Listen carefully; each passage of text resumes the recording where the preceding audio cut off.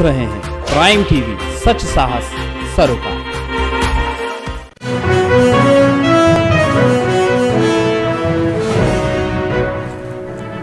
दिल्ली की हवा बहुत खराब, श्रेणी में क्यों आई तीन सौ उन्नीस दर्ज किया गया।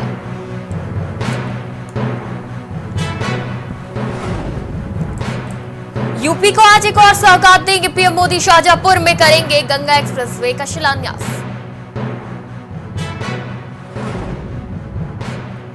मऊ में सपा नेता के घर इनकम टैक्स का छापा कार्यकर्ताओं का हंगामा।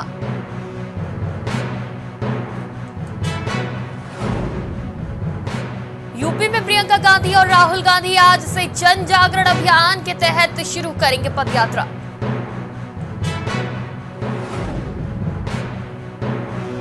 अयोध्या में आज जुटेंगे सौ महापौर, राम जन्मभूमि और हनुमानगढ़ी के मंदिरों में करेंगे पूजन अर्चन।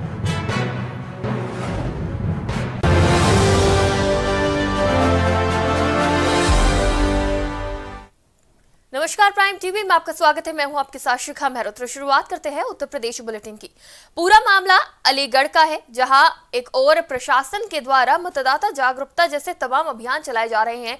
तो साथ ही लोगों से अपील की जा रही है कि मताधिकार का इस्तेमाल किया जाए। लेकिन अगर जमीनी स्तर की बात की जाए तो जमीनी स्तर पर सारे अभियान ध्वस्त नज़र आ रहे हैं।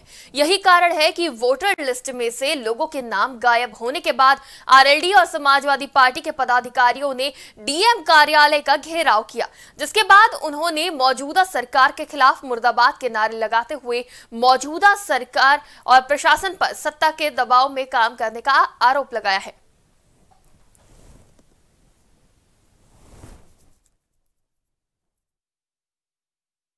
वोटर लिस्ट को लेके हम लोग डीएम से मिलने आए थे। अनावश्यक रूप से परेशान करा जा रहा है। नाम काटे जा रहे हैं। लेकिन डीएम साहिबा योगी के ज़्यादा ही दबाव में है। तो उन्होंने दूसरी बार हम लोगों के लोगों से मिलना उचित नहीं समझा। और बिना मिले चली गई। तो वो एसीएम को हमने ज्ञापन दे दिया है। लेकिन ये मुद्दा जो है वो हम लोग चुनाव वोटरों के फॉर्म नहीं भर दिए भरने दिए गए। हमने समाजवादी पार्टी के, महानगर के लोगों ने पूरी लड़ाई लड़ी। ज़फ़र आलम साहब ने उसकी लड़ाई लड़ी। उसके नतीजा ये हुआ कि हमारे फॉर्म फिर भी नहीं भरे गए बहुत सारे लोगों के। फॉर्म आज भी नहीं भरे गए। फॉर्म भरने का अभियान ख़त्म हो गया पाँच दिसंबर को। उसके बाद फीडिंग का काम चल रहा है। हमें सूचना बराबर मिल रही है कि फीडिंग में भी समाजवादी समर्थित और राष्ट्रीय लोकदल समर्थित वोटरों के नाम फीडिंग फ़ीड नहीं किए जा रहे हैं। इसलिए हम उनको जिलाधिकारी महोदय को ज्ञापन देने आए थे। ज्ञापन की सूचना हमारे महासचिव मनोज यादव जी ने सुबह ही डीएम कार्यालय को और इस खबर पे हमारे साथ ज़्यादा बातचीत के लिए संवाददाता नितेश जुड़ चुके हैं अलीगढ़ से।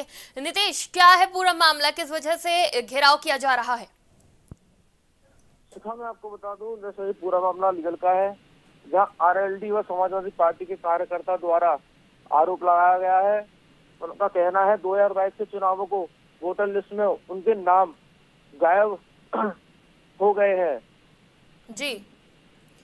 और प्रशासन पर तंज कसते हुए कहा है कि मौजूदा सरकार जवाब में काम कर रही है। जी बिल्कुल। बहुत बहुत शुक्रिया हमारे साथ जुड़ने के लिए और तमाम जानकारी के लिए। इस खबर पर हमारे साथ संवाददाता नितेश जुड़े थे।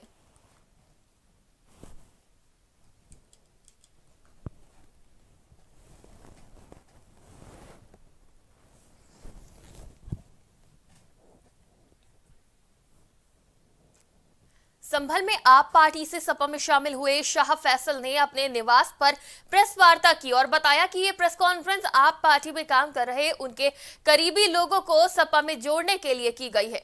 शाह फैसल ने आगे कहा कि भाजपा को हराने का केवल सपा ही विकल्प दिखाई दिया और आप पार्टी में उनका रहना मुश्किल हो रहा था, इसलिए वो सपा में शामिल हुए हैं। इस दौरान विधायक के बेटे और युवा नेता सोहेल इकबाल ने कहा कि जनता नफरत और घृणा की राजनीति से परेशान हो गई है और अब इन सबसे हटकर जनता समाजवादी पार्टी से जुड़ना चाहती है।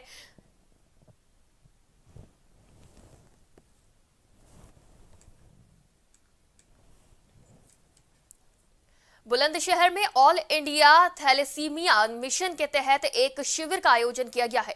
इस शिविर में थैलेसीमिया से पीड़ित बच्चों की निशुल्क जाँच की गई। इस मौके पर Datri blood stem cell donor registry की senior HLA doctor Swati Prakash ने बताया कि इस शिविर के तहत कैंसर और थैलीसीमिया से पीड़ित बच्चों का इलाज हो सके। इसके लिए अलग अलग जगह पर जाकर कैंप लगाए जा रहे हैं। थैलीसीमिया से पीड़ित मरीजों का एकमात्र इलाज है, वो इलाज है बोन मैरो ट्रांसप्लांट। और अगर परिवार में कोई मैच हो तो ट्रांसप्लांट के बारे में सोचा जा सकता है।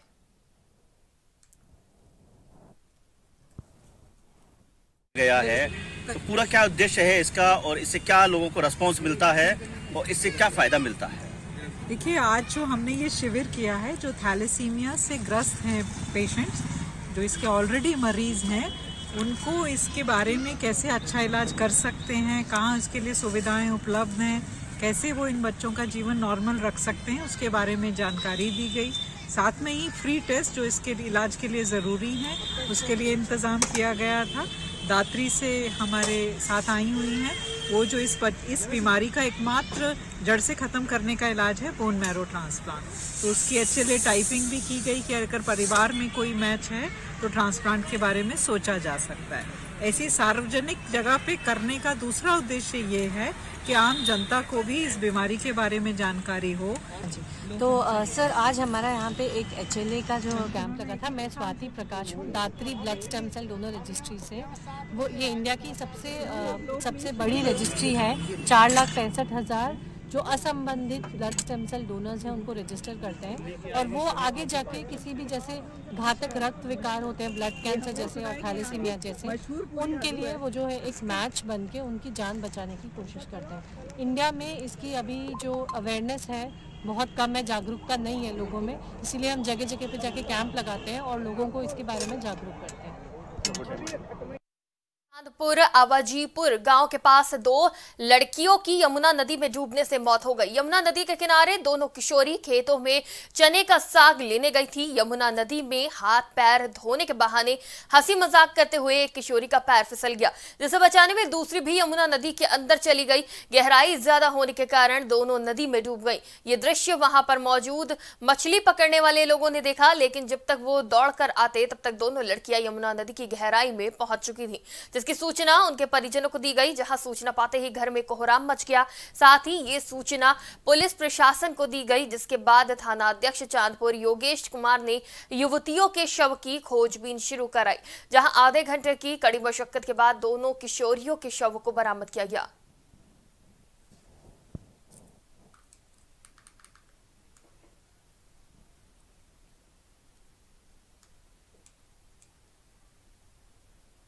तो फतेहपुर से ये खबर सामने आ रही है जहाँ दो किशोरियों के डूबने की खबर सामने आई है। दोनों बात करते करते नदी के किनारे आ, हाथ पैर धो रही थी तभी फिसलने की वजह से एक युवती नदी में गिर गई और दूसरी उसे बचाने के चक्कर में भी डूब गई। और इस खबर पर मैं सजाल बातचीत के लिए संवाददाता फतेहपुर से जुड़ चुके हैं अमरदीप। अमरदीप क्या कुछ जानकारी मिली है? दोनों युवतियों के शव बरामद हो गए हैं क्या क्या कुछ जानकारी है? जी मामला बिल्कुल सही है कि फतेहपुर थाना फतेहपुर ज़िले के थाना चांदपुर क्षेत्र के आवाजीपुर गाँव का मामला है जहाँ पर कल देर शाम दो किशोरियाँ जो है चना का चने के खेत में जो है चने का साग तोड़ने गई थी और इसके बाद कुछ देर बाद हाथ पैर धोने के बहाने बगल से बह रही यमुना नदी में वो हाथ पैर धोने लगी और इसी दरमियान एक किशोरी का पैर फिसल गया तो जब पहली किशोरी जब डूबने लगी तो दूसरी किशोरी उसको बचाने के लिए वो भी गहरे पानी पे चली गई और दोनों किशोरियाँ लापता हो गई। पर वहीं पर एक मछली पकड़ने वाले मछुआरों ने जब उन्हें देखा तो उन लोगों ने बचाने की भी कोशिश की, पर नहीं मिल पाई और गाँव वालों को सूचना दिया। तो लगभग आधे घंटे बाद जो है किशोरियों के शव को बरामद किया जा चुका है। पर वैसे ही, जैसे ही फतेहपुर बिनकी के उप जिलाधिकारी को सूचना मिली है, वो भी मौके पर पहुँच गए हैं। पर अगर देखा जाए तो जो एक डेढ़ घंटे बाद शव बरामद हुए हैं उनमें परिजनों परिवारजनों में कोहराम मच मच गया है।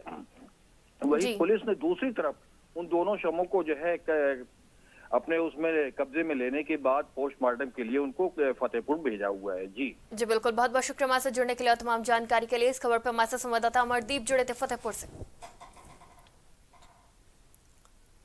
खबर कन्नौज सदर कोतवाली की हाजीगंज खुर्द के निवासी और कांग्रेस के वरिष्ठ नेता विवेक नारायण मिश्र डीएम दफ्तर पहुँचे, जहाँ उन्होंने डीएम को शिकायत पत्र देते हुए कहा कि वो अपने परिवार और भाइयों के साथ रहता है।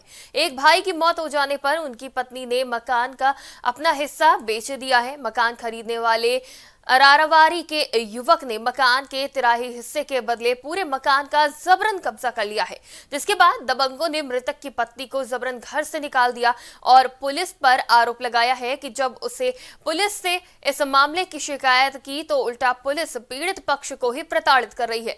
तो पुलिस द्वारा पीड़ित प्रताड़ित पीड़ित को ही प्रताड़ित करने का मामला सामने आया है और इसमें शिकायत भी दर्ज की गई है, जिसपे अभी तक कोई संज्ञान नहीं लिया गया है। आइए आपको सुनाते हैं कि पीड़ित ने क्या कुछ कहा है।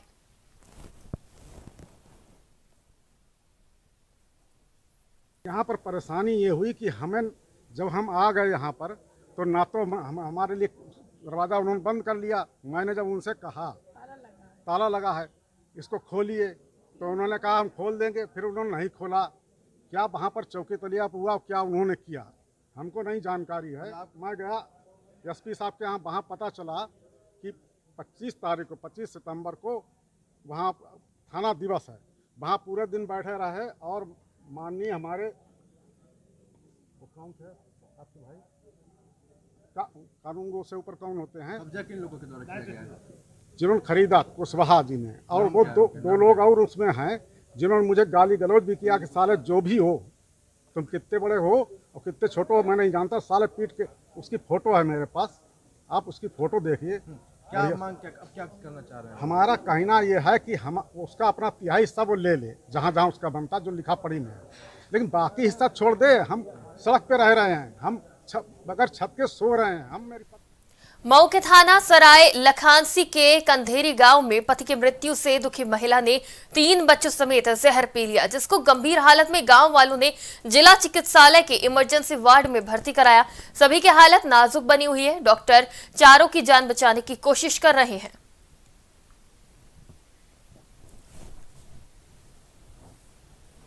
इसका पति नहीं था, इसलिए दुखी थी तो इसने सोचा होगा कि हमारा पति नहीं है, हम क्या जी के करेंगे? तो इसी भावनाओं में बह के सब्ज़ी में डालने वाला कोई जहर ला के रखी थी अपने घर में और अपने तीन बच्चों को दे दिया।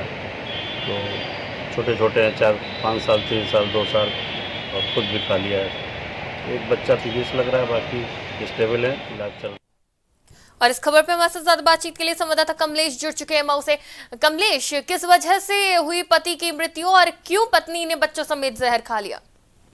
जी शिखा जी हम आपको बता दें कि एक ये सरलाकांक्षी कंधेरी का मामला है जो पति को ढाई महीने पहले गाजीपुर में एक्सीडेंट हो गया था। जी। और उसी चलते पत्नी ने जब सोचा कि जब पति नहीं रहेगा तो हम हमारा जीने से कोई कोई फ़ायदा नहीं है।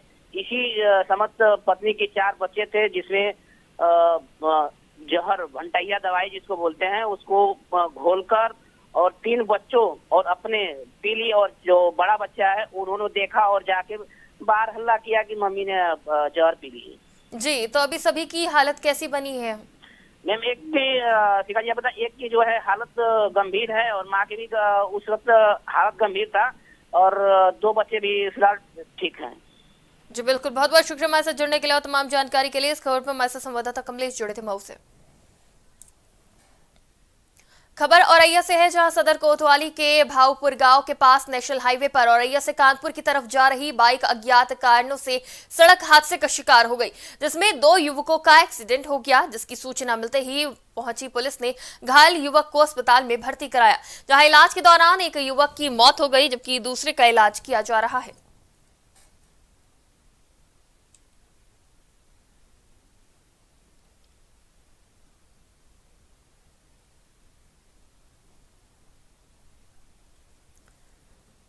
तेज रफ्तार का कहर एक बार फिर देखने को मिला है जहाँ बाइक का एक्सीडेंट हो गया और युवक की मौत हो गई है। आपको बता दें कि औरैया से खबर सामने आ रही है। सदर कोतवाली की खबर बताई जा रही है। भावपुर गाँव के पास नेशनल हाईवे पर औरैया से कानपुर की तरफ़ जा रही बाइक का अज्ञात कारणों से सड़क हादसे का शिकार हो गई, जिसमें दो युवक का एक्सीडेंट हो गया है, जिसकी सूचना मिलते ही पहुँची पुलिस ने। घायल युवक को अस्पताल में भर्ती कराया, जहाँ इलाज के दौरान एक युवक की मौत हो गई है, जबकि दूसरे का इलाज किया जा रहा है। अब खबर बांदा से है, जहाँ गिरवा थाना के नरैनी रोड पर तेज रफ्तार का कहर देखने को मिला, जहाँ एक बुलेरो ने वृद्ध महिला को जोरदार टक्कर मार दी, जिसके बाद बुज़ुर्ग महिला को राहगीरों की मदद से 108 एंबुलेंस के ज़रिए जिला अस्पताल भर्ती कराया गया, जहाँ बुज़ुर्ग महिला को देखते ही डॉक्टरों ने उसे मृत घोषित कर दिया। एक मामला आया था एक्सीडेंट का मामला था क्या कहा कहाँ से आया था? अभी एक राजू नाम की महिला आई हैं इन जो एंबुलेंस के माध्यम से यहाँ पर आई हैं। निवासी चतसारा की रहने वाली है थाना गिरवा। हमारे यहाँ मृत अवस्था में लाई गई हैं जिनको हमने शव गृह में रखवा दिया है। बाकी कोई भी जानकारी पोस्टमार्टम के बाद ही हो पाएगी। परिजन क्या बता रहे हैं किस चीज़ से घटना परिजन का कहना है कि किसी गाड़ी ने टक्कर मार दी है। बाकी जो भी है वो पोस्टमार्टम चंदौली के तियरा गाँव के पास एक बार फिर तेज रफ्तार का कहर देखने को मिला है, जहाँ तेज बाइक सवार चलती ट्रैक्टर में पीछे से घुस गया, जिसकी सूचना मिलने के बाद पहुँची पुलिस ने सभी घायलों को जिला अस्पताल भेजा।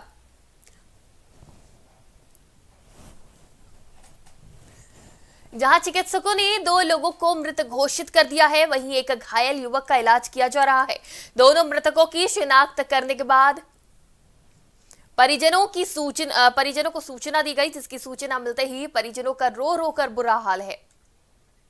और इस खबर पर हमारे ज़्यादा बातचीत के लिए संवाददाता अजीत जुड़ चुके हैं। अजीत, कैसे हुआ ये हादसा?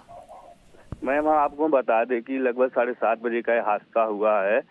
एक ट्रैक्टर खड़ी थी और उसमें दो, तीन लोग बैठे थे। बाइक सवार आ रहे थे तीनों लोग, जिसमें ट्रैक्टर में अचानक से टक्कर मारने से दो लोग गंभीर रूप से तुरंत उनकी वहीं पर मौत हो गई। और एक लोग जिसको जो घायल हो गए, उनको जिला अस्पताल लाया गया। अभी उनका इलाज उलाज चल रहा है और दो लोग को पोस्टमार्टम के लिए भेज दिया। पूरा मामला सियरा गाँव के साहबगंज का मामला बताया जा रहा है। जी, बिल्कुल। बहुत बहुत शुक्रिया हमारे साथ जुड़ने के लिए और तमाम जानकारी के लिए। इस खबर पर हमारे साथ संवाददाता अजीत जुड़े थे चंदौली से। कानपुर देहात से कंदरा थाना क्षेत्र के रजधान कस्बे में उस समय सनसनी फैल गई, जब एक अज्ञात युवक का शव हाईवे के किनारे खंड में पड़ा पाया गया। युवक का शव मिलने से पुलिस महकमे में भी हड़कंप मच गया है, जिसके बाद लोगों ने युवक की हत्या करके शव को फेंके जाने की आशंका जताई है। वहीं युवक का शव मिलने की सूचना पर पुलिस के आला अधिकारी भारी पुलिस बल और फॉरेंसिक टीम के साथ मौके पर पहुँचे और घटना की जाँच शुरू कर दी।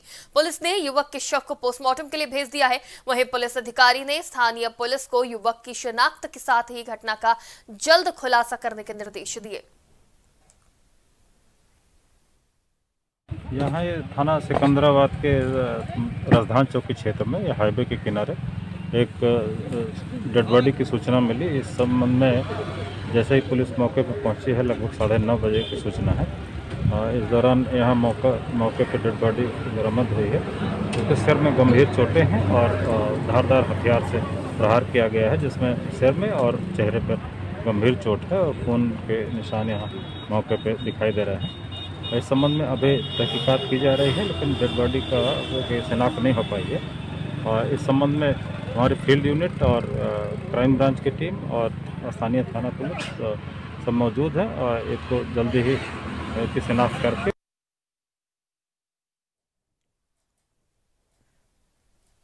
कानपुर देहात से खबर सामने आ रही है, जब शव मिलने से सनसनी फैल गई है। हाईवे के किनारे शव मिला है, जिसके बाद पुलिस ने हत्या करने के बाद फेंक देने की बात कही है। और इस खबर पे हमारे साथ ज़्यादा बातचीत के लिए संवाददाता तस्लीम जुड़ चुके हैं कानपुर देहात से। तस्लीम, क्या है पूरा मामला? पुलिस की आशंका जता रही है। शिखा जी, पूरा मामला कानपुर देहात के सिकंदरा थाना क्षेत्र के रसदान हाईवे का मामला है, जहाँ पर सुबह एक हाईवे के किनारे एक क्षति विशत शव मिला है रोड के किनारे इस पे सूचना पहुँचने पर भारी पुलिस बल फोर्स वहाँ पे मौजूद रहा। आनंद फानन में वहाँ पे एडिशनल भी पहुँचे हालाँकि अभी तक शिनाख्त नहीं हो सकी है कि ये शव की पहचान नहीं जा सका है। कहीं ना कहीं देखा जाए तो जो एक अंकुश लगना चाहिए क्राइम पर वो कहीं नहीं एक कानपुर देहात में लगातार कई ऐसे शव मिल चुके हैं जिनके अभी तक शिनाख्त भी नहीं हुई है और लगातार हत्या करके शव फेंके जाने की आशंका जताई जा रही है। जी। तस्लीम अ, घटनास्थल से क्या कोई ऐसा सबूत मिला है जिससे ये पुख्ता हो जाए की इस व्यक्ति की हत्या करके इसे फेंका क्या है? देखा जी, मौके पे एडिशनल ने साहब ने पहुँच करके एक फॉरेंसिक टीम को बुलाया। फॉरेंसिक टीम ने आसपास में कई सबूत भी एकत्रित किए हैं। हालाँकि पुलिस ने यह भी दावा किया कि बहुत जल्दी खुलासा किया जाएगा। जी, बिल्कुल। बहुत बहुत शुक्रिया हमारे साथ जुड़ने के लिए और तमाम जानकारी के लिए। इस खबर पर हमारे साथ कानपुर देहात से संवाददाता तस्लीम जुड़े थे। वही खबर प्रतापगढ़ से है, जहाँ पर एडिशनल एसपी रोहित मिश्रा की अगुवाई में पुलिस ने चेकिंग अभियान चलाया है।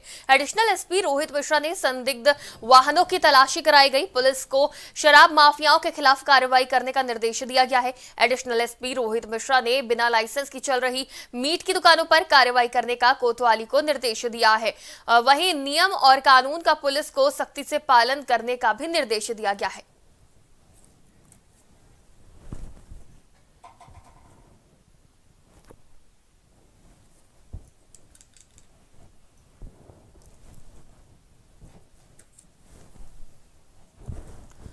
तो प्रतापगढ़ से खबर सामने आ रही है, जहाँ पुलिस ने अभियान चलाया है, तलाशी अभियान, ताकि जो है गैर कानूनी गतिविधियों पर रोक लगाई जा सके। चेकिंग अभियान चलाया गया है पुलिस द्वारा, ताकि जो है जिस तरह की गैर कानूनी गतिविधियाँ चल रही हैं, उन पर रोक लगाया जाए।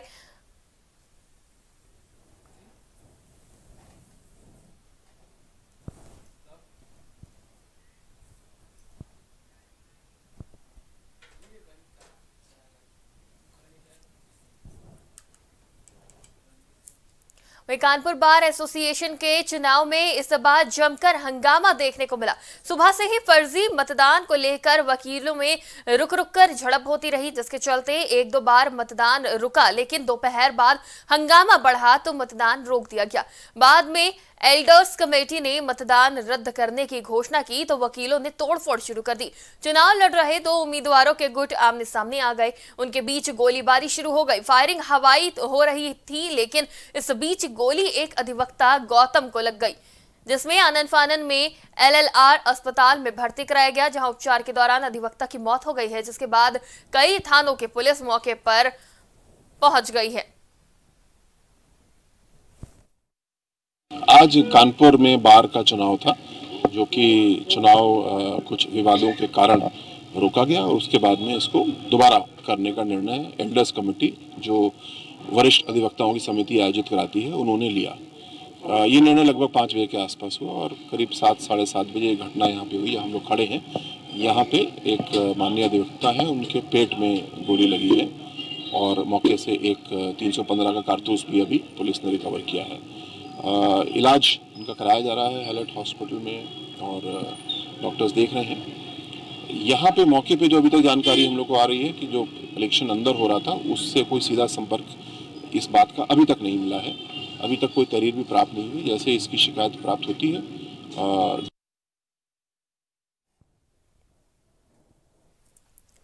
उत्तर प्रदेश की खबरों में फ़िलहाल इतना ही। तमाम खबरों के लिए देखते रहिए प्राइम टीवी